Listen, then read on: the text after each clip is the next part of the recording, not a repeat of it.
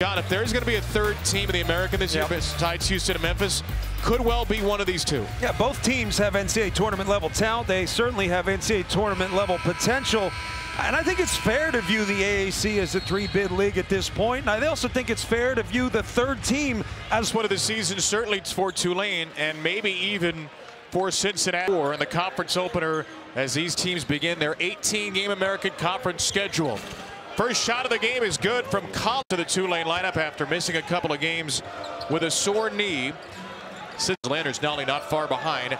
Adams, Woods, and Davenport, four-year Bearcats, fill out the experience five for Wes Miller.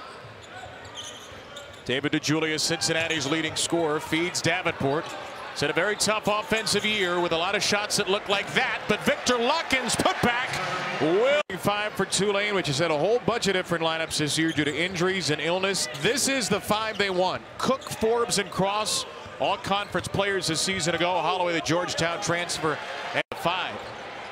Davenport misses his first two shots for Cincinnati, and Lakhin is able to keep it alive. His second offensive rebound.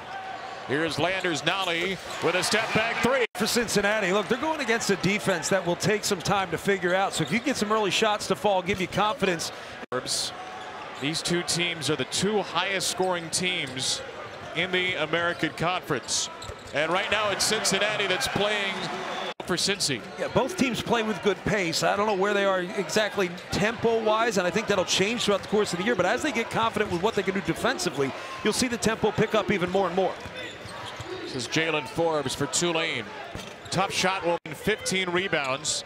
And the Bearcats last game a win over Detroit Mercy. And Adams Woods will feed him. challenge against Tulane is figuring out the rotations of this matchup. And a lot of times there are man principles, but that's not always the case. So if you can find some shots, get them to go, if you can break down the defense off the bounce, you're going to create opportunities. Julius. A three-pointer for DeJulius leads to Tempo, and at times you, you've got to live through some mistakes, you've got to play through some misses and find your own rhythm. Since he's done that very well. He'll feed Lakhin. It has not been his night, but it is his possession. Yeah, that, that's tough. Cross is not going to pick up that fifth foul. Forbes passes off a chance to drive on him, and Pope stuffs it. Good feed. Need stabilizers when you have a lot of weapons, because at times it, And he almost threw it away. Davenport gets it across half court, and Julius finds Lakhin. the initial defense. You have numbers, you have an advantage. You get yourself all the way to the